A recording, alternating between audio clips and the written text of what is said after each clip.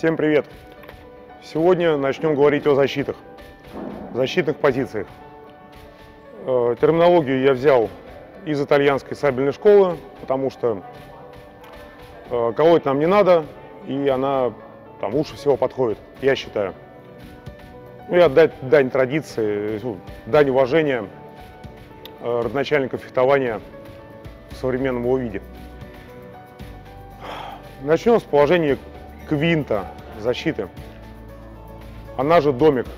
Э, зародилась она в России, в российской традиции как домик, а на самом деле это квинта. Квинта.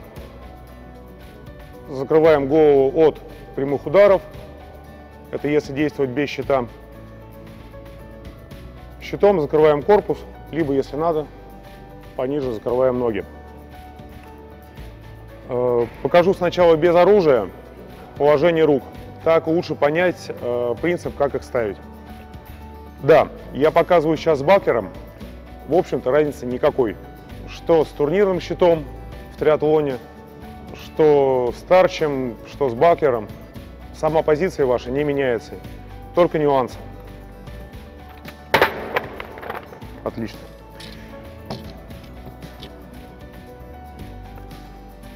Ну, перво-наперво. Принимаем нашу стоечку. Любимую должно уже от зубов отскакивать. Таз развернули, спинку выпрямили, плечи опустили, коленочки подсогнули, посмотрели прямо.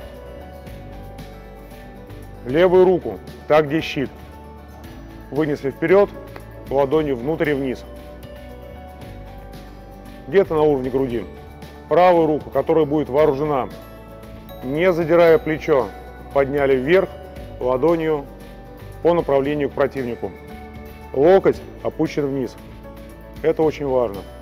Не задираем плечи, не отводим локоть в сторону.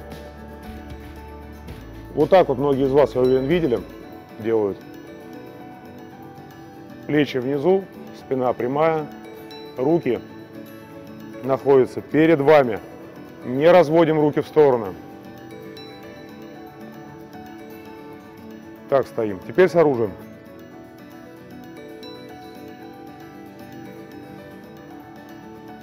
Щитом закрыли корпус до плеча, навалились вперед и выставили защитку. Раз. В правосторонней стойке. Два. Ну и справа как это выглядит.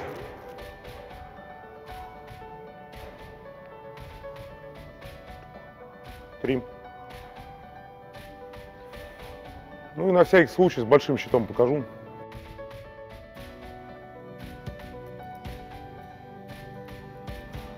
И то же самое с большим турнирным щитом. Вот это максимальный размер треугольника, который возможен. С ним будет все ровно то же самое. С правой стороны. С левой стороны.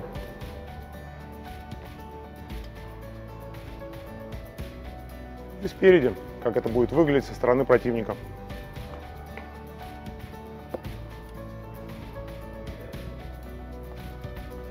Вот и все.